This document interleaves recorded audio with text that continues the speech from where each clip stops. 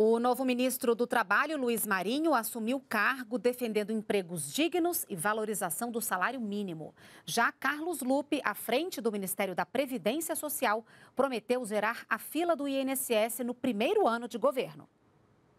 A cerimônia que marcou o início da gestão de Luiz Marinho foi realizada na sede do Ministério em Brasília. Durante o discurso, o novo ministro disse que o desafio da pasta será dar protagonismo inédito à agenda do trabalho e defendeu a valorização permanente do salário mínimo. Quero convocá-los para, em curto espaço de tempo, oferecermos ao presidente Lula uma proposta de política de valorização permanente do salário mínimo a ser apresentado ao Congresso Nacional.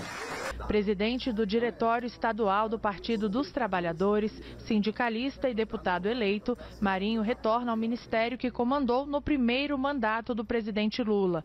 Segundo o novo ministro, outra prioridade será a regulamentação das relações trabalhistas. Quero declarar que iremos, em pouco tempo, por meio do diálogo tripartite e juntamente com o Congresso Nacional, construir uma legislação que modernize o nosso sistema sindical e de relações de trabalho e que nos aproxime das melhores práticas existentes no mundo nesse campo.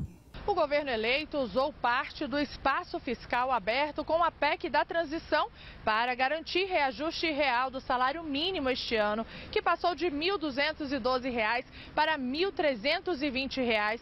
Além disso, foi recriado o Ministério da Previdência Social, que antes era parte do Ministério do Trabalho. E para comandar a nova pasta, o nome escolhido foi do presidente do PDT e ex-ministro do Trabalho, Carlos Lupe, que também tomou posse nesta nesta terça-feira. Segundo Carlos Lupe, durante os próximos quatro anos, a meta é zerar as filas do INSS. Eu quero acabar essa fila em tempo recorde para o povo brasileiro se sentir respeitado.